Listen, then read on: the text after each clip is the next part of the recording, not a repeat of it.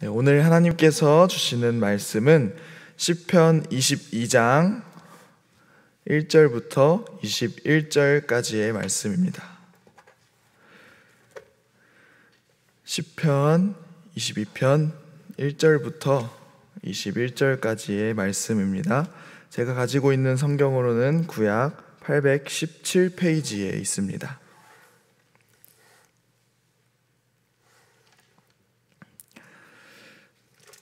다 찾으신 줄로 믿고 제가 봉독하도록 하겠습니다. 내 하나님이여 내 하나님이여 어찌 나를 버리셨나이까? 어찌 나를 멀리하여 돕지 아니하시오며 내 신음소리를 듣지 아니하시나이까? 내 하나님이여 내가 낮에도 부르짖고 밤에도 잠잠하지 아니하오나 응답하지 아니하시나이다. 이스라엘의 찬송 중에 계시는 주여 주는 거룩하시니이다 우리 조상들이 주께 의뢰하였고 의뢰하였으므로 그들을 건지셨나이다. 그들이 주께 부르짖어 구원을 얻고 주께 의뢰하여 수치를 당하지 아니하였나이다. 나는 벌레요 사람이 아니라 사람의 비방거리요 백성의 조롱거리니이다. 나를 보는 자는 다 나를 비웃으며 입술을 삐죽거리고 머리를 흔들며 말하되 그가 여호와께 의탁하니 구원하실 걸 그를 기뻐하시니 건지실 걸 하나이다.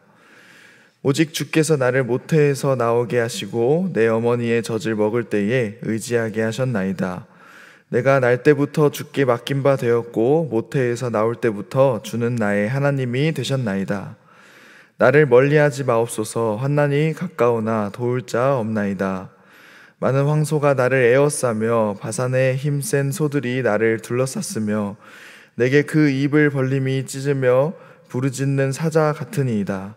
나는 물같이 쏟아졌으며 내 모든 뼈는 어그러졌으며 내 마음은 밀랍 같아서 내 속에서 녹았으며 내 힘이 말라 질그릇 조각 같고 내 혀가 입 천장에 붙었나이다. 주께서 또 나를 죽음의 진토 속에 두셨나이다. 개들이 나를 에워쌌으며 악한 무리가 나를 둘러 내 수족을 찔렀나이다. 내가 내 모든 뼈를 셀 수 있나이다. 그들이 나를 주목하여 보고 내 겉옷을 나누며 속옷을 제비 뽑나이다. 여호와여 멀리하지 마옵소서 나의 힘이시여 속히 나를 도우소서 내 생명을 칼에서 건지시며 내 유일한 것을 개의 세력에서 구하소서 나를 사자의 입에서 구하소서 주께서 내게 응답하시고 들소의 뿔에서 구원하셨나이다. 아멘. 네, 오늘은 6월 25일 6.25 전쟁이 발발한 지 72년이 된 날입니다. 어, 먼저 나라를 위해 희생하신 분들과 또 전쟁이라는 큰 아픔을 겪은 어, 모든 이들에게 하나님의 위로와 사랑이 함께 하기를 소망합니다. 특별히 오늘 말씀을 통해서 이런 전쟁과 같은 어떤 참혹한 고난 속에 있는 어, 모든 사람들에게 하나님이 주시는 용기가 어, 생기기를 간절히 소망합니다. 네, 성도님들은 혹시 응답 없음을 경험한 적이 있으신가요?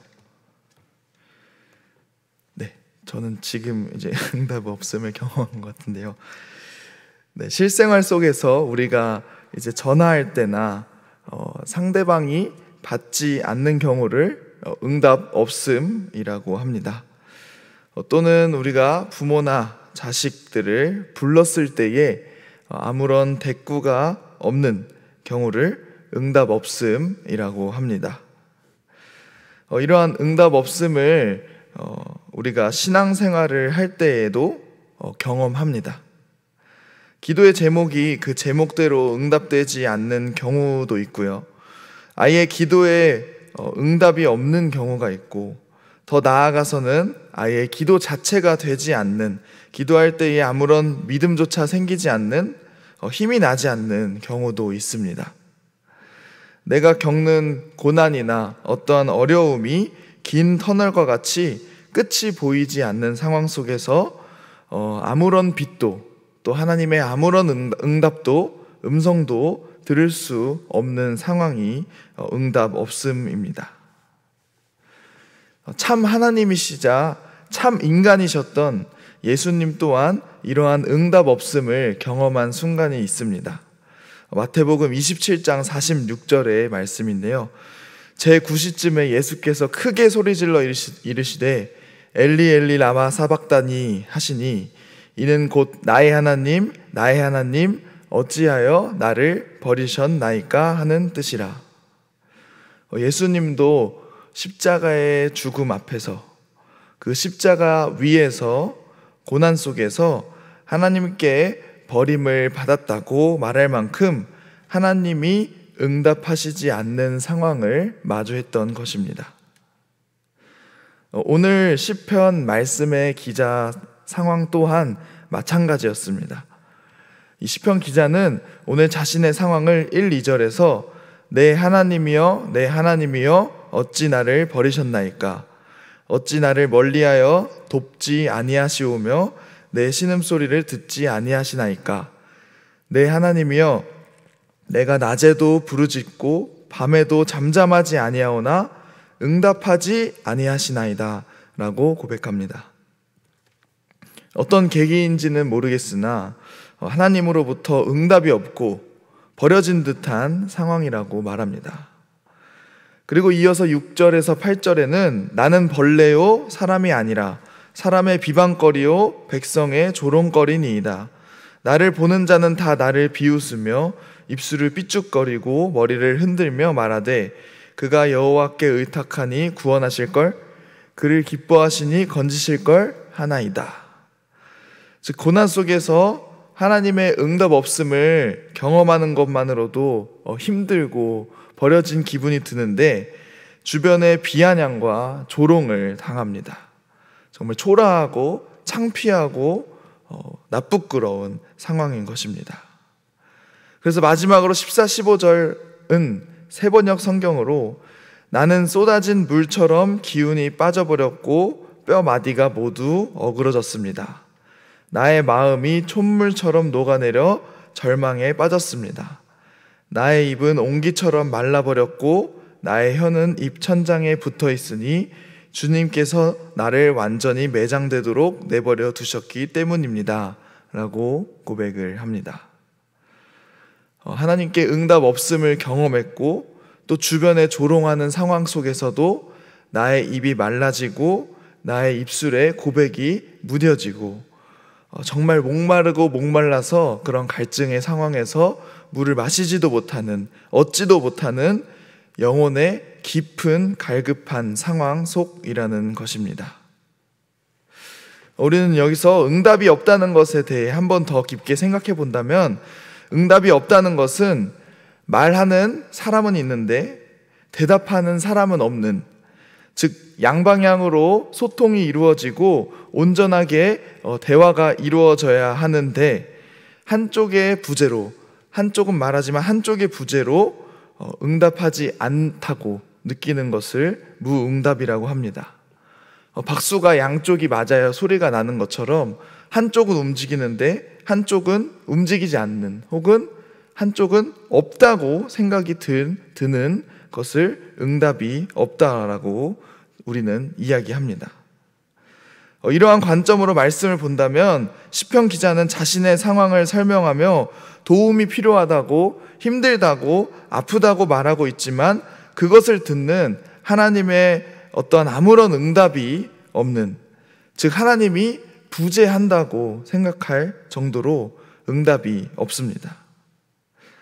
어, 예수님이 겪으신 상황도 마찬가지였습니다. 예수님이 십자가 지시기 전에 나의 아버지 하실 수만 있으시면 이 잔을 내게서 지나가게 해주십시오라고 기도했지만 응답이 없었습니다. 소통을 시도하였고 노력하였지만 하나님의 어떤 액션이 눈에 보이는 액션이 그리고 내가 원하는 액션이 없었습니다. 우리 또한 마찬가지입니다. 고난 중에서 하나님의 도우심을 기다리고 새벽에 나와 또 금요 철야에 나와 하나님께 간절하게 기도합니다. 간절히 부르짖고 하나님을 바라봅니다. 그러나 응답이 없습니다. 하나님이 부지한 것과 같고 나는 버려진 것과 같습니다. 이렇게 하나님이 없다, 부재하시다는 것을 경험할 때에 우리는 두 가지 선택을 할 수 있는데요. 한 가지는 남 탓, 즉, 모든 책임을 내가 아닌 타인에게, 내가 아닌 하나님에게 돌리는 것이고 다른 한 가지는 자책입니다. 자신의 무능함이나 자신의 잘못, 과오들을 탓하는 것입니다. 어, 이두 선택 모두 충분히 이해할 만한 선택입니다.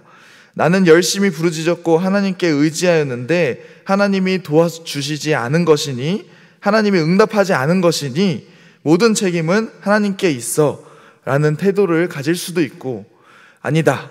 내가 어떤 죄가 있어서 어떠한 잘못을 해서 응답하지 않으시는 것일 거야. 내가 더 열심히 기도하지 않아서일 거야. 라며 자책을 하는 선택을 할 수도 있습니다. 그러나 오늘 응답 없음을 경험한 시편 기자의 선택은 전혀 다른 선택을 하고 있습니다. 단편적으로는 원망과 자책, 남탓과 자책 둘 다 모두 하는 것처럼 보이지만 결국 그의 결론은 신뢰의 선택을 하게 됩니다. 9절에서 10절인데요. 오직 주께서 나를 모태에서 나오게 하시고 내 어머니의 젖을 먹을 때에 의지하게 하셨나이다. 내가 날 때부터 주께 맡긴 바 되었고 모태에서 나올 때부터 주는 나의 하나님이 되셨나이다. 하나님이 응답하지 않으실지라도 부재하는 것 같을지라도 방관하고 있다고 느낄지라도 하나님은 그래도 나의 하나님이시다.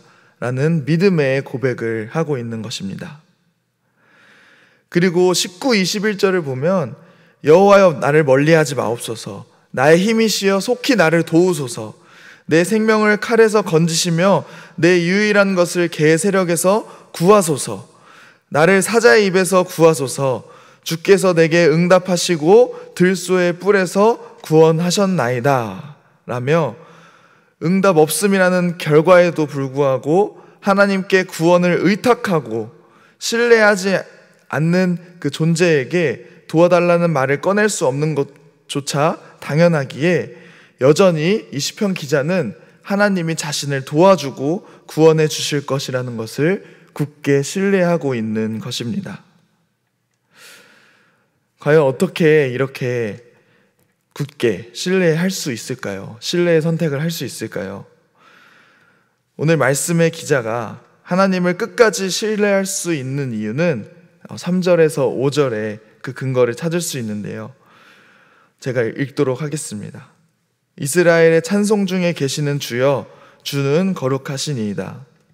우리 조상들이 주께 의뢰하고 의뢰하였으므로 그들을 건지셨나이다. 그들이 주께 부르짖어 구원을 얻고 주께 의뢰하여 수치를 당하지 아니하였나이다. 저는 여기서 의뢰하고 의뢰하였으므로라는 구절에 마음이 참 많이 갑니다. 내가 겪는 고난이 이미 힘들기에 하나님께 한 번 의뢰하는 것만으로도 우리는 잘했다라고 생각할 수 있습니다. 그러나 시편 기자는 조상들이 의뢰하고 의뢰하고 응답이 없는 것 같을지라도 또 의뢰하는 그 태도 속에 진정한 하나님에 대한 신뢰가 있다라고 보여줍니다. 결국 하나님을 끝까지 신뢰할 수 있는 이유는 우리의 조상 혹은 나의 과거에 하나님을 경험하고 어떠한 사건으로 인하여 하나님을 경험한 응답을 받은 구원함을 얻은 그 구원의 기쁨으로 한 번 의뢰하는 것에서 멈추지 않고 의뢰하고 또 의뢰하며 부르짖으며 또 부르짖으며 그렇게 계속해서 하나님께 의탁하는 그 마음에 있다는 것입니다. 그리고 이 태도가 바로 응답 없음을 견뎌내는 힘입니다. 사실 우리의 기도는 하나님을 온전히 신뢰할 때에만 가능합니다. 하나님 도와주세요. 하나님 응답해 주세요. 라고 간절히 말하는 것 자체가 이미 하나님을 신뢰하고 있다는 것입니다. 우리는 어떠한 상황 속에서 별의별 이유로 기도하지 않을 수도 있습니다. 하나님을 탓하며 자책하며 의뢰하고 또 의뢰하는 일을 멈출 수도 있습니다. 그러나 오늘 시편 기자의 태도를 보며 응답이 없는 것과 같은 상황 속에서도 우리는 하나님께 도와달라고 고백할 수 있는 용기를 지니기를 간절히 소망합니다. 하나님을 부르짖고 또 하나님을 찾는 것이 우리의 신뢰의 모습인 줄로 믿습니다. 또 특별히 기도가 지치고 어, 일상생활 속에서 하나님의 응답이 없다고 경험될 때에 하나님의 하나님과의 만남에 더욱 목마르고 갈급한 상황일 때에 우리의 목이 뻣뻣해진다고 기도를 멈추는 것이 아니라 온전히 하나님을 의뢰하고 또 의뢰할 수 있는 저와 여러분들이 되기를 간절히 소망합니다. 우리 함께 기도하겠습니다. 사랑의 하나님, 오늘 말씀을 통해 나의 하나님, 나의 하나님 주님 도와주세요라는 고백이 하나님을 신뢰하는 고백임을 깨닫게 됩니다. 그럼에도 하나님이 응답하시지 않는 것에 불평하고 낙담하는 우리의 모습 또한 있습니다. 그런 우리의 모습을 불쌍히 여기사 주님이 주시는 은혜를 발견하게 하시고 그리고 그 주님이 주시는 은혜로만 만족하여 우리가 살아가게 하옵소서. 하나님, 수표교 교회를 위해서 기도합니다. 주님의 몸된 교회가 어둠과 같은 세상 속에서 빛을 잃어버리지 않게 도와주옵소서. 때로는 어떠한 것이 옳은 것인지 고민하며 선택하는 과정 속에서 하나님이 함께하사 역사를 이끌어 가시는 하나님께서 우리 교회의 주인임을 믿습니다. 또한 이를 위해서 가장 먼저 헌신하시는 김진홍 담임 목사님을 위해서도 기도합니다. 그 영육 간의 강건함을 허락하시고 주님의 지혜와 명철을 허락하여 주옵소서. 하나님 그 교회 학교를 위해서 기도합니다. 이제 다가오는 여름 사역들이 있습니다. 각 부서별로 진행되는 여름 사역이 하나의 이벤트가 되지 않고 아이들 한 사람 한 사람이 그들의 인생에서 하나님을 경험하는 가장 특별한 시간이 될 수 있도록 인도하여 주옵소서. 부족한 손길과 또 보이지 않는 곳에서 헌신하는 우리 교사들의 손길까지도 보호하여 주옵소서. 이 시간 말씀을 기억하며 기도하는 가운데에 우리의 입술이 마르지 않고 우리의 마음에 영혼이 목마르지 않고 온전히 하나님을 끝까지 신뢰하며 부르짖는 모습을 가지고 돌아갈 수 있도록 인도하여 주옵소서. 모든 말씀 예수님의 이름으로 간절히 기도드립니다. 아멘.